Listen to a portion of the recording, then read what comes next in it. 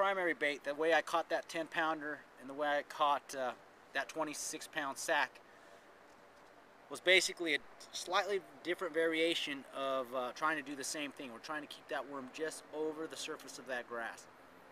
And what I did for that is I tied up a really light finesse Carolina rig. We do this a lot in California.